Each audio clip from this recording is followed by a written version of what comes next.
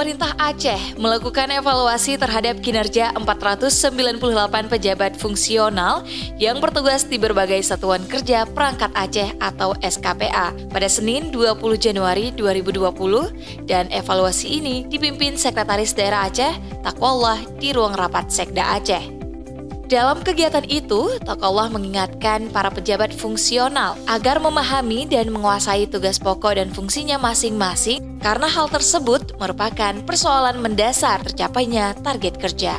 Tokolah juga berharap para pejabat fungsional tidak hanya menjadikan pekerjaan sebagai rutinitas tanpa memiliki target yang ingin dicapai. Selain itu, para pejabat juga diminta menjadi panutan bagi bawahan.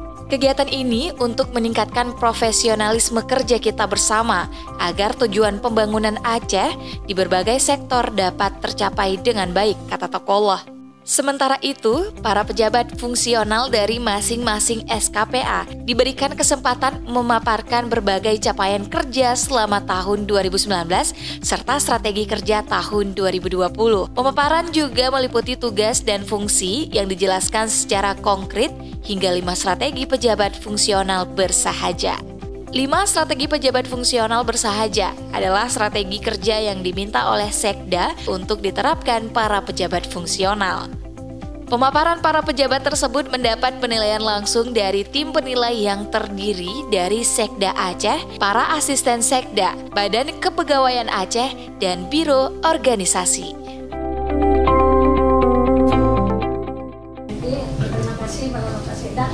Jadi nggak pernah berkumpul kayak gini nggak pernah sampai pas silaturahmi Alhamdulillah kami ada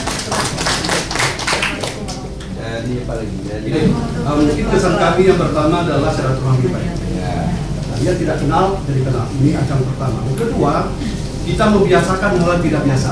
Mudah-mudahan hasilnya luar biasa. Tepuk tangan dulu kita semua.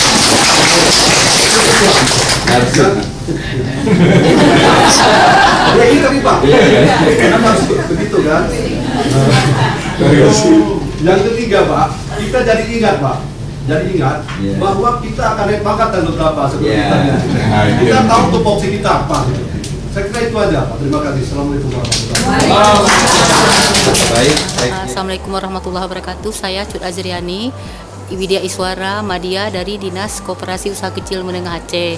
Alhamdulillah acara pertemuan dengan Bapak Saida ini baru sekali ini saya rasakan sejak menjadi Widya Iswara insya Allah uh, ke depannya juga saya berharap kepada uh, jabatan fungsional yang masih muda dalam bekerja jangan lupa juga mengumpulkan angka-angka kredit dalam rangka untuk naik pangkat kita kerja harus kita laksanakan dengan sebaik mungkin artinya apa kita nanti uh, tenaga fungsional harus menjadi panutan panutan bagi uh, pegawai negeri sipil lainnya jadi panutan bagi ASN lainnya insya Allah apa yang kita lakukan ini e, mendapat berkah dari Allah Subhanahu Wa Taala. Mungkin ini yang bisa saya sampaikan dan silaturahmi yang sudah terjalin ini Insya Allah selalu bisa terlaksana. Terima kasih. Assalamualaikum warahmatullahi wabarakatuh.